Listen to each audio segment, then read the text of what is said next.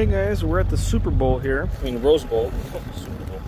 And we got a beehive on this property here. We got some beehive activity here. Oh look, you're the stairs.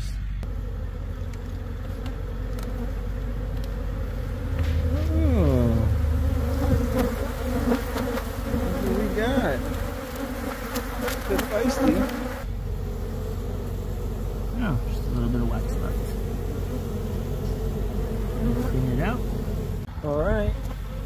The bees are going to the box, as you guys can tell. Look at them. Just marching right in. It's because the queen's already inside. And that's it, guys. We'll be back. Five to ten days.